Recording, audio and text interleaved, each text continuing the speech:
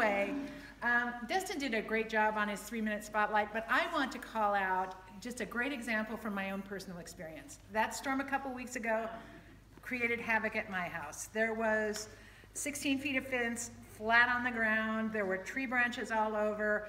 The shed door fell off, and I had a hole in my roof. So Dustin, of course, I called him for an estimate, and he stands out so much because not only did he come and professionally prepare an estimate, but the hole in the roof, he grabbed a ladder and scuttled up there for free and gave me a temporary fix so the hole would get no worse before he had time to come back and fix it. So that's the kind of difference this gentleman makes. So thank you, Dustin. Sorry I messed up your name.